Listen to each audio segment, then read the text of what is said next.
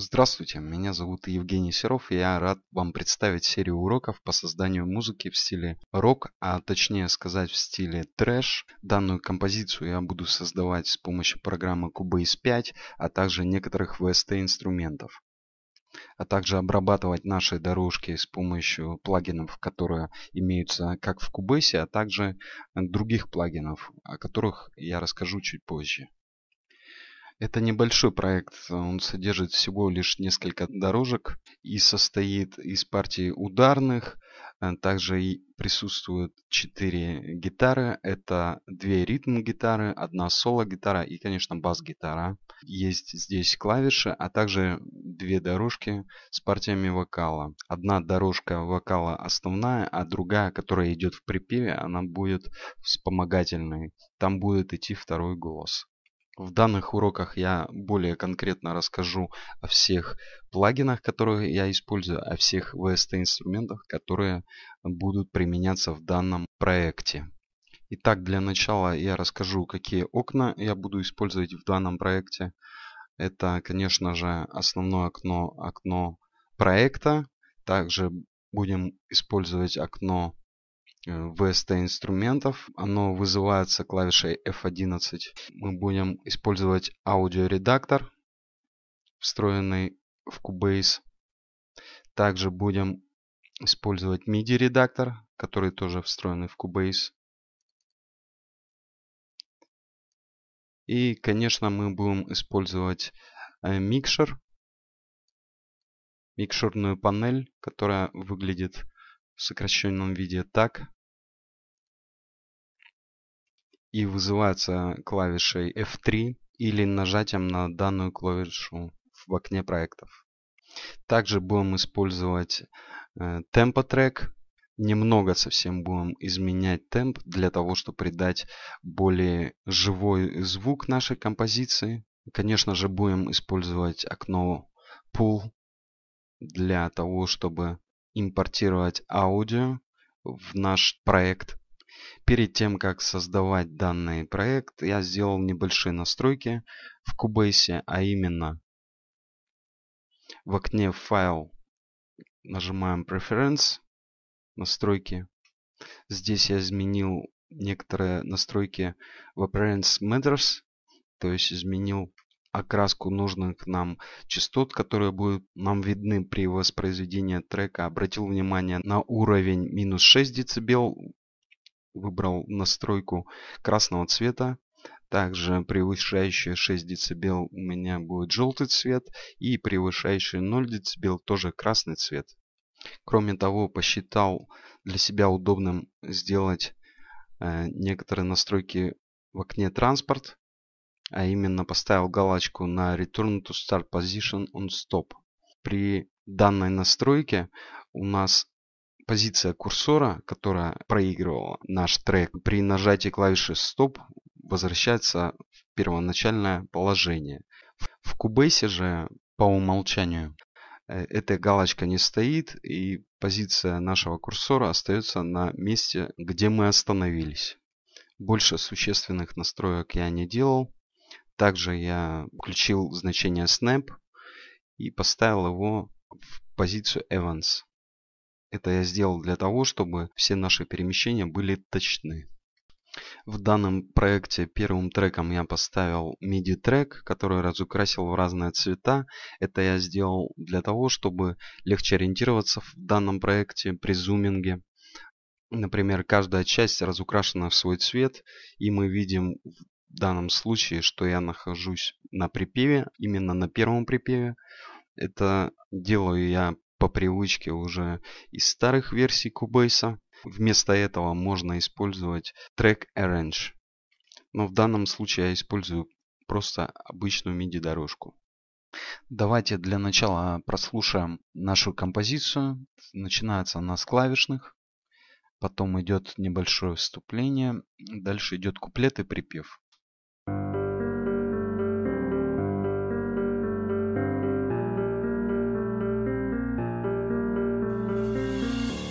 Добавляются немного тарелки из ударной установки и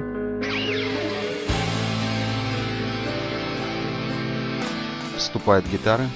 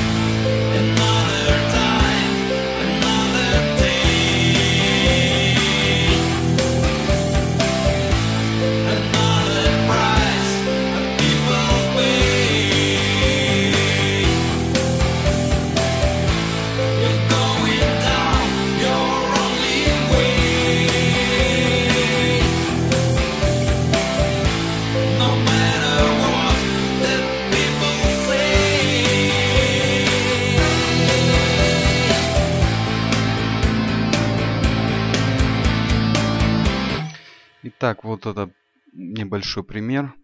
Далее после второго припева идет соло.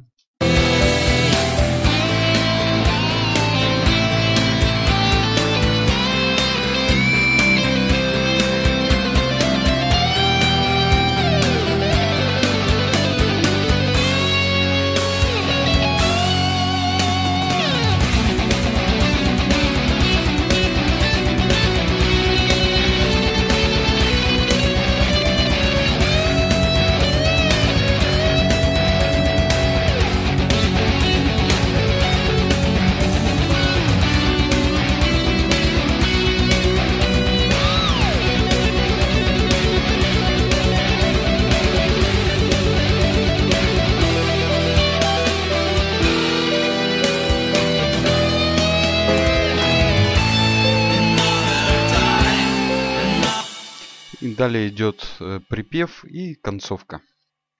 Вот это вкратце я вам показал, какой у меня получился трек. Давайте вкратце я покажу, какие VST инструменты я использую. VST это VST по-другому, аббревиатура Virtual Studio Technology. Виртуальные инструменты или VSTI. I означает инструмент. Это виртуальные инструменты, которые могут подключаться к Cubase различных версий. Также и Cubase пятой версии. Итак, для ударной установки я использую VST инструмент под названием Easy Drummer от фирмы TuneTrack. Я использую кит под названием Drum Kit from Hell. Также у меня есть и другие киты для различных стилей, но я использую этот. Для создания соло-гитары я использую инструмент фирмы Virtu под названием Electrosexity. Для создания партии клавиш использую инструмент Plug Sound, а именно набор Keyboards, и использую плагин Soft Piano Pad. Для левой гитары я использую Real Strat от фирмы Music Lab.